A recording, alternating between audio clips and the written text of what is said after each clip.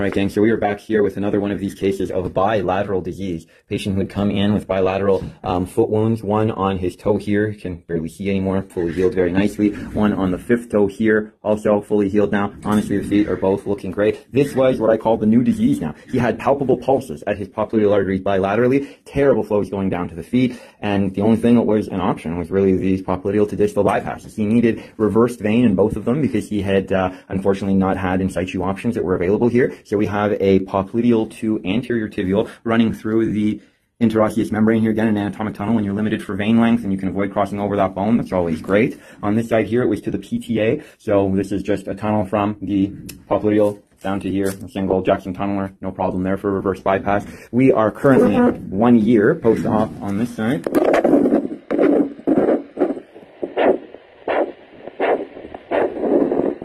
And about 10 months, if I'm not mistaken, on this side.